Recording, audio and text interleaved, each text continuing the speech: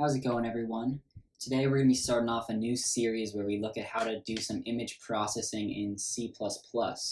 We've got a basic project set up here. We're going to start off today by setting everything up and creating an image structure that can hold image data. And then in future videos, we'll look at how to manipulate that image data in some cool ways, and we'll have different effects. We'll start real small with maybe some things like grayscale, uh, just really basic stuff like that, and then we'll move into some really cool effects that you can you can do with code. So let's get right into it. All right, so we're going to start off by creating some new files in here. We're going to want an image.h, and we're also going to make a C++ file, of course. Okay, and we want that to be included in here.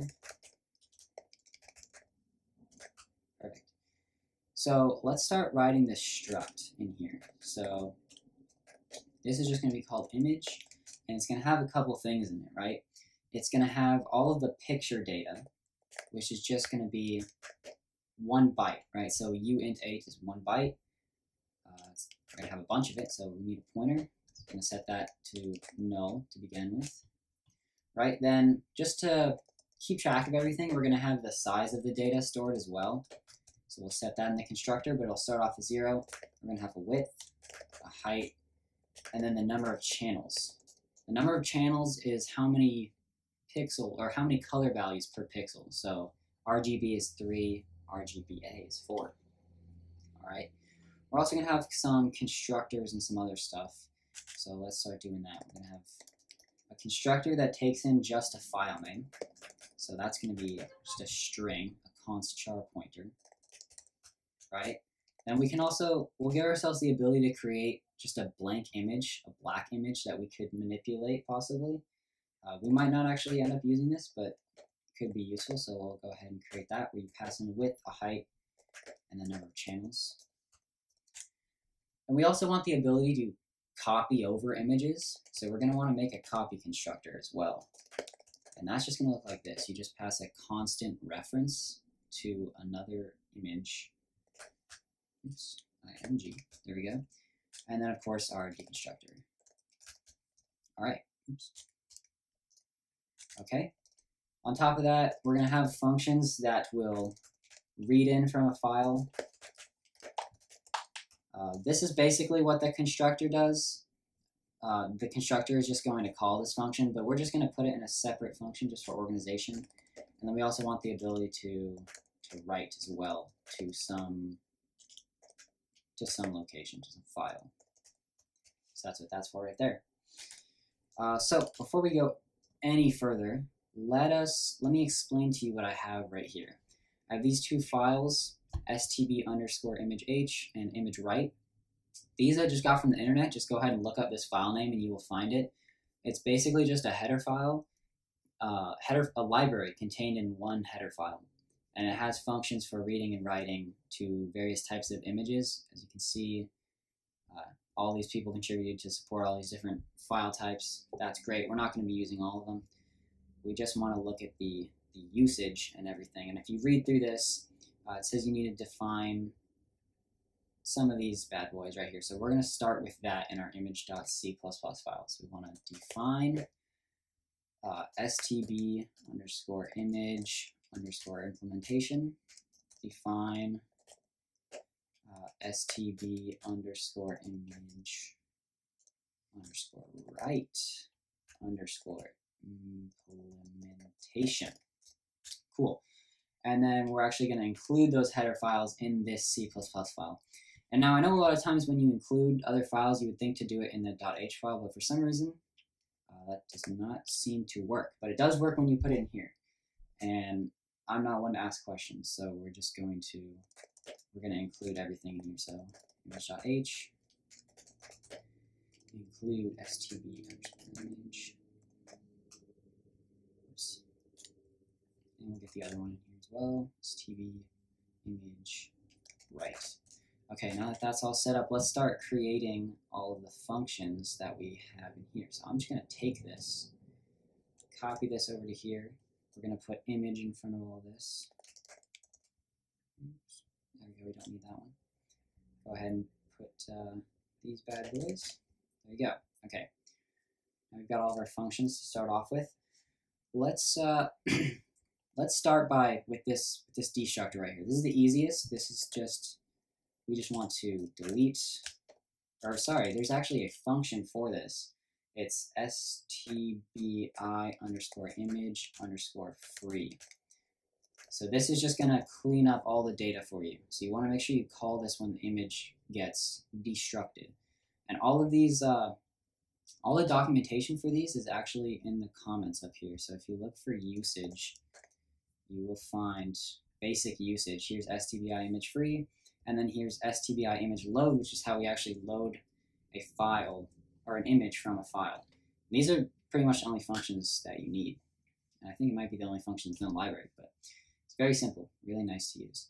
So let's go ahead and in here, when we get the file name, all we want to do is call our read function, right? But we want to be a little bit smarter than that. As you can see here, we're returning a bool. Oh shoot, hang on. These need to be over here. There we go.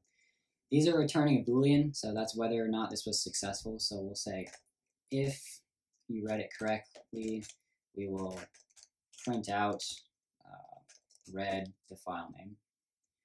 Um, so we'll just do something like that. Making a lot of typos right now. And then otherwise, we'll just say that it failed. Cool. Now that we have that set up, uh, we are using printf, so we're going to need to add just in here that we're going to include um, C, S, C standard input output is what that stands for. And since we are using the uint8 as well, and the size t and everything, we want to include standard int.h. And just to make sure everything's working, we can go over here and run our make file and just see that we're all, oh yeah, can't forget that. Make sure we're all good here. We got some warnings, end of non-void, that's fine. Okay, we haven't made those yet. Okay, so let's give ourselves some space here. Let's go down to the read. Let's work on this now. So read, all we really need to do is call in the, the STBI load right here. So let's just go ahead and actually copy this and put it in here. So we put in our file name. The X and the Y is just going to be the width and the height, right? So this is going to fill in those values for us. N is the number of channels. And zero, we just want to leave zero. If you look at, at this, it says uh, N will be the number that it would have been if you said zero. Um, basically, you can force the number of channels. As you can see right here, you can force four channels. Uh, but we don't want to force anything. We'll just leave it just like that. Okay? And then this function will fail if it if data is null, basically. So we, we want to return true if data is not null. So return data does not equal null. Like that. That's all we need for the read. So read is super, super easy. So let's go back up to our constructors. We have this one done already. We have this test image in here as well that we're gonna we're gonna mess around with in a little bit. Let's go ahead and make this next constructor though. So here, one thing I also am realizing is we need to set the size as well. The size is the width times the height times the channels, right? Because it's one byte per channel. That's how big your image is. So there's your size. And we can do that same thing down here. Size is that, and then we'll just say data is new array bytes size. There you go. So that's all we need for this constructor right here. This will make a bunch of zeros, so it'll be all black. It's exactly what we want. Um, but we also uh, want to throw this an initializer list right here. Oops. There we go. That's all set up. Okay, now we just need to get this copy constructor done. All we need to do here is we're actually going to call this other constructor right here, just like this. So the width we want to be image.width. The height we want to be height. Same with channels.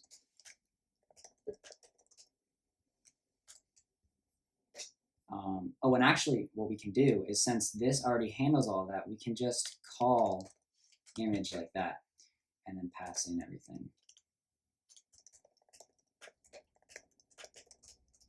Okay, cool.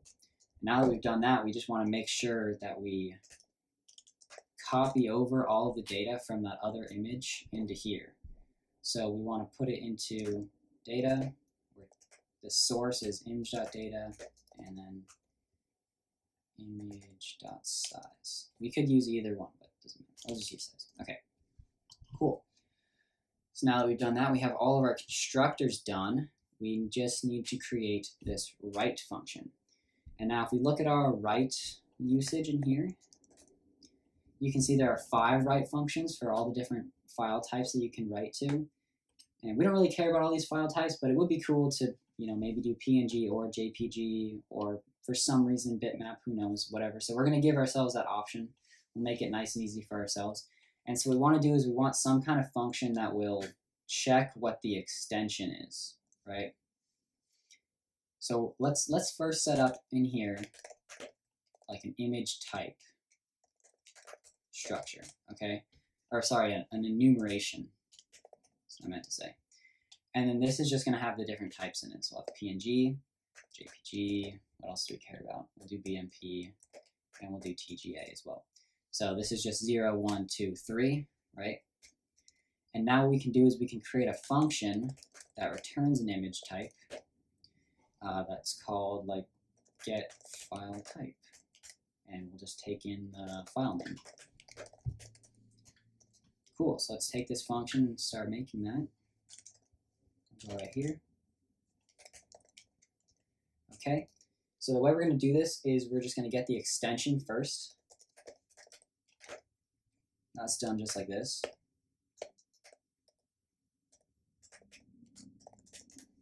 Function is going to give us the extension. It's really easy, one-liner.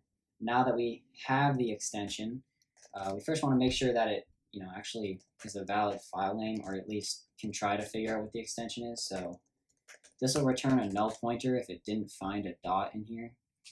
Uh, so we want to make sure that it is not a null pointer before we start messing with it so our program doesn't crash.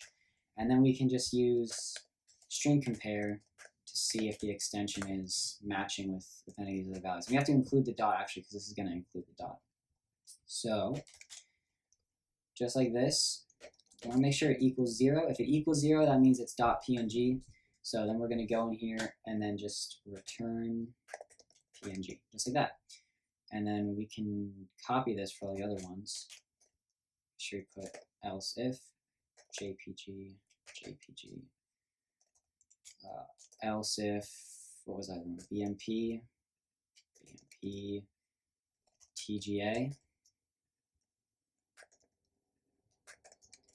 All right, and then just in case for some reason they put something random, we'll just force PNG. Um, and actually, we should do is just put that outside here. That way, if there was some issue with the extension, it's just going to turn into a PNG anyway, which is which is fine. So now that we have that, we can go in here and we can say image type uh, type equals get file type file name. Okay, and then now we can use a switch statement to go through the type. So if it's a PNG, we want to uh, we want to use our our image load, but we want to also keep track of if this function was successful. And so if we look at our usage here, you can see it returns an integer, and that integer is going to tell us whether or not it was successful. So let's go ahead and just make an integer called success and leave that undefined. That way when we go in here, we can, uh. We can say success equals and then our function. So it's just st, I'm actually just going to copy it from here. It's a lot easier. There we go. Get rid of that. So we pass in our file name. That goes right here. And we have width the height. Comp is the number of channels. And then this is our data. And the stride in bytes is just going to be the width times the number of channels for PNG. PNG is the only one that has the stride in bytes. So I'm going to go ahead and speed this up and we'll just create the rest of these, uh, but this is the basic principle right here. Okay, so now that we've got these all pasted in, let me just quickly explain. Uh, like I said before, PNG is the only one with a stride, but uh, JPEG has this, this number, and that's just going to be 0 through 100. So if I go ahead and look at this right here, you can see at the usage again. Right here, there's a quality. And so that's just going to be like I said, a number 0 through 100, we're just going to give it full quality. So now that we have that, this should write everything successfully. We just want to make sure that we return an, an, a boolean if it was actually successful. So we want to return success is not equal to 0. So if it's not 0, it was successful, otherwise it had an issue. So we now have all of our things done, I believe. We have all of our constructors and all of our write functions done. So now we just want to make sure it works. So let's go ahead and make sure we got no syntax errors. It looks like we have a little issue with the object file. Let me just clean. Okay, so slight hiccup there. That is my issue right there. You have to have these correct, otherwise it's not going to work. Um, so let's go ahead and make that. There we go. Everything is good syntax wise. Now let's go ahead and make a test here. So we're going to create a new image called test and we'll pass in our, our test file name just like that. And then we'll write this to a new image, a new .png. Then let's also make sure that our copy constructor works. So we'll say copy equals test, and then we'll set all of the I'll set the top row of pixels in that image to black. So we'll just say for i i is less than copy dot width times copy dot channels. So this is just going to be one row of bytes in the image, and then we'll set the data in there to Let's actually, let's make it white. So then this will set the first row at, and then we'll do copy dot write copy dot png. We can also just really quickly, we can test our blank image where we pass it just the size and the channels, and then write that image out. And we'll try writing it to JPG this time. So let's go ahead and run this. There we go. You can see it read test.jpg down here. And here's all of our images. So here's our blank black image. That works perfectly. Here's our copy where the first row is white. If you can, might be kind of hard to see on video, but I can see it pretty well. And then here's our new, same picture but a PNG. And then here's our original. So everything worked perfectly. So I think we're done for today. Thank you guys for watching keep uh, keep following up with our other videos. We'll make some some really cool stuff happen with this that we've set up today. So hope to see you guys around. Bye.